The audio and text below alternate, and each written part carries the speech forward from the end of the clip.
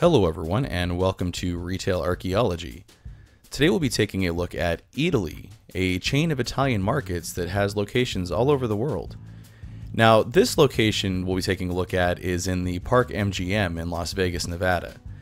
And as you can see from the Christmas tree, this was filmed in December 2019, so you're going to see a lot of Christmas decor and things around. Eataly was founded in 2007 in Turin, Italy by a businessman named Oscar Farinetti. The first Eataly location was opened there in Turin inside a closed vermouth factory, and from there they've just seemed to continue to expand all over the world. They currently have six locations in the United States and one in Canada, but they really are a worldwide chain. They've got locations in Japan, Saudi Arabia, Russia, Sweden, Germany, and of course they have 13 locations in Eataly, and they currently have plans to expand to even more places like Abu Dhabi, Brussels, Hong Kong, Johannesburg. With all of these current and planned locations, I would have a really hard time calling Italy a small business, but apparently they think they are, but we'll get more into that later on in the video. This particular location is about 40,000 square feet, so they've got a lot of room to pack things in like wine and cheese and all the things that you would expect to see inside a Italian market. But it's interesting how they have everything organized. They have these little booths set up. Like here's the bakery with just absolutely delicious looking stuff out. And then they'll have like a cheese counter, there's a butcher shop, and then also spread amongst those, there's wine bars, um, kind of quick service, uh, ready made food things. You can get little pizzas and stuff like that. And then there's also uh, classes and things that they offer as well. We were really impressed with this place when we visited here in December 2019, and I'm going to show you all the cool and neat things that we saw but then later on in the video, we're going to cover some stuff that's kind of soured me a little bit um, on Eataly with some current news about them. I have to warn all of you, I am terrible at pronouncing Italian words. I feel like I sound like this. So if I mispronounce something, cut me a little bit of slack. Now this little section over here has all kinds of pastries as well as coffee and cappuccino and it's nice to see the uh, Lavazza brand instead of Illy. Usually these kind of things it's all Illy stuff. Here's a closer look at some of those pastries, and we did sample some of them and they were absolutely delicious. Super rich, but very good. Doesn't all of that look so good? I'm, I'm remembering how good it was now, now that I'm watching this footage. Now those are the biggest Nutella jars I've ever seen. I, I asked if I could buy one, but they didn't want to sell me one, which makes sense. They're probably just empty displays. Here's a closer look at some of their grocery items. You can see we've got a lot of different varieties of canned and jarred whole tomatoes and chopped tomatoes. I really wish I would have brought a bigger piece of luggage with me to Las Vegas because I probably would have brought some of this stuff home with me. It looks really good. It's kind of eerie watching this footage now knowing that this location is closed due to the current pandemic situation. But this is the only Eataly location that's closed because everything in downtown Las Vegas is shut down. But all the other locations are still open for grocery pickup and things like that, but their ready made food portions are shut down.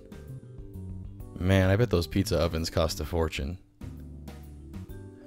There were a lot of amazing smells in this place, and those pizza ovens were definitely responsible for a lot of it.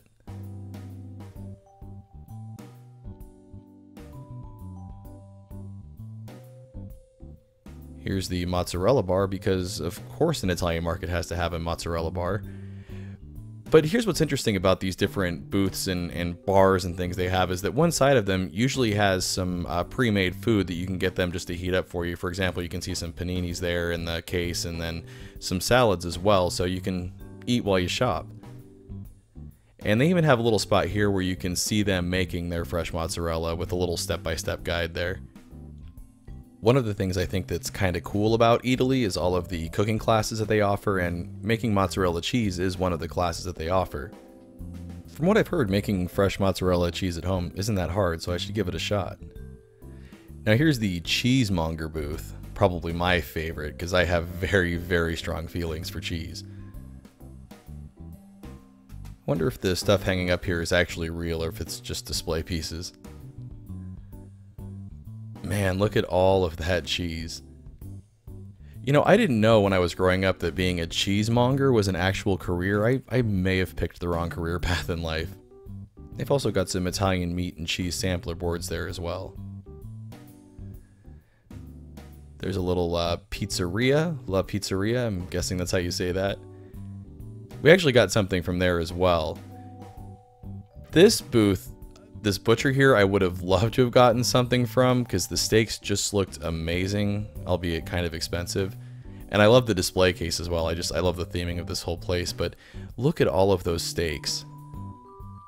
Especially the uh, dry aged one there. That just looks amazing. But being a tourist in Vegas, I, I don't know what you would do with raw meat in your hotel room. Or at least I don't want to know what you would do. You can see there in the background uh, the casino, which is kind of a weird thing to see in an Italian market. Now I mentioned earlier in the video Mark and I did sample some of the food, so let's take a look at what we got. Very excited for this right now. Hell yeah. Hold on, let's get the uh, right mood music going for this. Oh yeah. This was one of the best pieces of like pizza bread that I've ever had in my life. Let's let's get a closer look at some of the herbs there. And then here is one of those sampler boards. You can see some prosciutto there, some fresh mozzarella cheese, some other cheeses that I can't pronounce the name of. Got some uh, mortadello there. I'm sure I'm pronouncing that wrong. I don't even really like olives, and those were even fantastic. If you come to Eataly, definitely get the sampler board.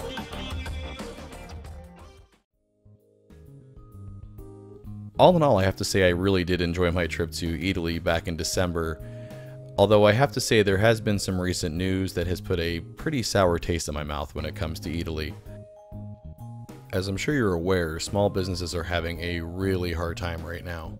And the federal government put forth something called the Payroll Protection Program, which was meant for small businesses to be able to get loans to keep people on payroll.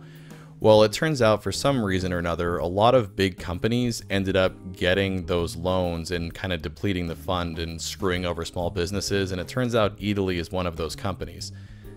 Those loans were meant for small businesses, businesses with 500 employees or less. From what I understand, each of the Eataly locations has between 4 and 700 employees, so I don't understand how they think they're a small business or how they even got away with getting approved for the payroll protection program loans.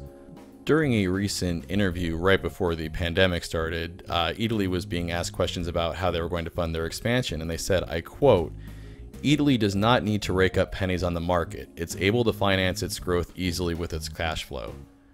Well, it sounds to me an awful lot like they've uh, raked some pennies out of small business owners' pockets, unfortunately, and really screwed them over. So I have a hard time recommending this place. Maybe they'll give the loan money back. I know places like Shake Shack and Ruth's Chris Steakhouse have done that, where they took loans but then got called out on it and gave it back. So hopefully Eataly does the right thing. Hopefully you guys have enjoyed this tour of Eataly. Thanks for watching. Want to see your name here?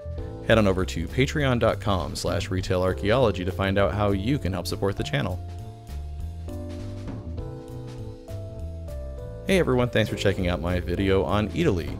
If you enjoyed it, make sure to hit those like and subscribe buttons, and if you've got a few minutes, check out one of these other videos I have here. Lastly, make sure to follow at the social media links down there because that's the best way to keep up with what's going on with the channel.